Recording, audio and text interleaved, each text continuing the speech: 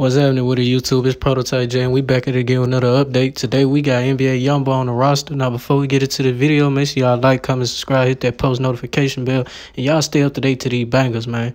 Now let's go and jump into it. Now you know NBA YoungBoy apparently y'all know he been dropping these hot bangers lately, and apparently man he done dropped another banger. But this was a diss song going to Adin Ross. Also hearing rumors that he wanted his girl back, and I'm gonna go and let y'all watch the snippet he made.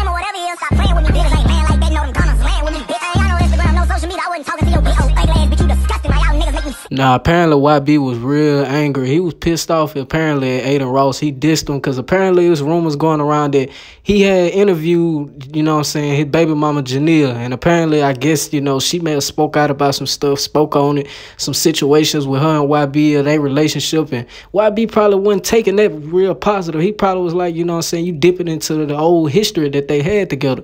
But I ain't gonna make this video too long, man. Make sure y'all like, comment, subscribe, hit that post notification bell. We on the the road to 600. What do y'all think of this situation? Why YB dissing Adin Ross? And also, and what do y'all think about Adin Ross interviewing baby his baby mama Janelle? It's the it's prototype J and yeah, I just came back with another banger road to 600. Y'all let me know down below. And yeah, I'm signing out.